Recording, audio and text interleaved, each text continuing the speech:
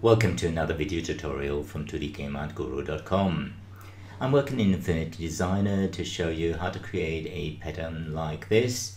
And to make it even more interesting I'm trying to bring it into a skyline shape. So we're going to mix the dots with the skyline the main issue with this in Affinity Designer is that there is no morph tool. Usually you would go in and create a larger circle and smaller circle and let the program calculate the circles in between in X amount of steps. Affinity Designer does not have this solution. So I'm trying to do this manually. I start with one circle, give it a set size, in this case of 30 by 30 pixels, and then I set the nudge distance to the same size so when I press the cursor key, the object will be moved by exactly that distance.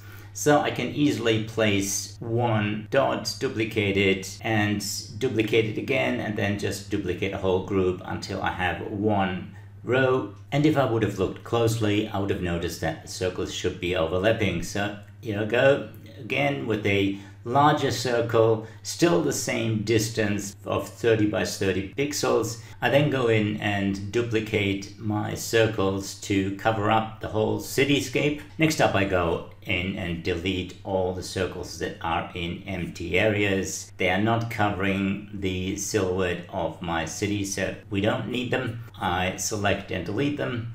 Now we have something that has the shape we're after. I create a new layer and copy a few circles into that one and then manually go in and change the size using the transform.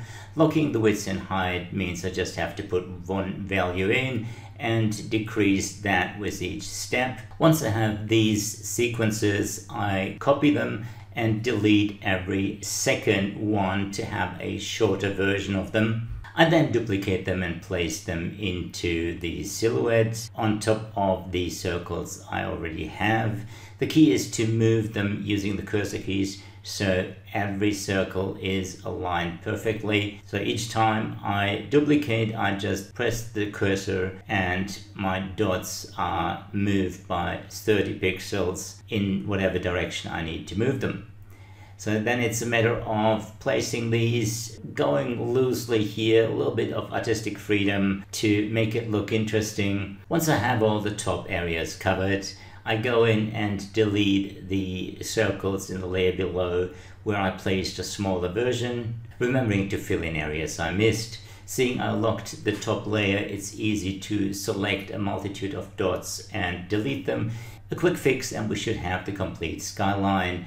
I group the two layers and give the group a gradient overlay, duplicate it, mirror it, and we should have our skyline or something resembling it because I have taken the creative freedom a little bit too far. The solution to that would be to make more dots, smaller dots, and less of a sequence at the top. I hope you enjoyed the tutorial nevertheless. If you learned something new today, hit the like button to celebrate your new bit of knowledge. To help you remember everything you've learned even better, subscribe to the channel, leave a comment below to let me know what you would like to see in this channel or on my website, and I will see you again soon.